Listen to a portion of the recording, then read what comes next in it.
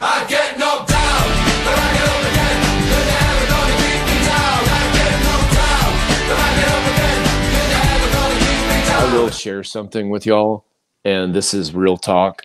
Um, I was on the flight back from Dallas to Atlanta, and you know, I I had not slept in the last two nights, and I was really stressed from uh, you know the IT shutdown and you know waiting in airports, and so when we take off and the drink the cart girl you know the the airline girl you know comes Stewardess. d- comes thank you stewardess thank you Hey, you know cart comes girl. down and i had a mental battle i went through mental and honestly maybe spiritual warfare where Mm-hmm. i actually it was crazy where i think this is where the lack of sleep came in and really affected me um i i all i wanted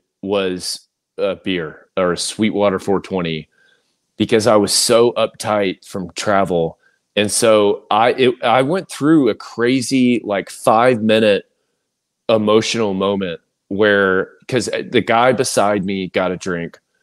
The guy um in the aisle across from me got a drink and I I was like I I, I went through it mentally, but I powered through that and I got through it and I was able to fall asleep for like five minutes. And when I woke up from that short nap, I was fine. But I will tell you, that makes this disease real is moments like that and where I was really tempted to drink. And I was I got emotional because I was like, man, this disease is freaking real.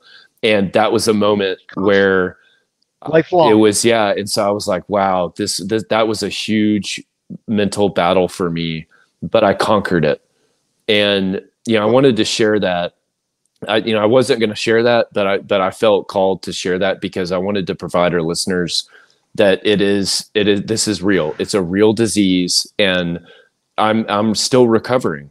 And so i'm i'm recovering addict i need to remember that. And that's the delusional thinking of oh maybe i can just have one beer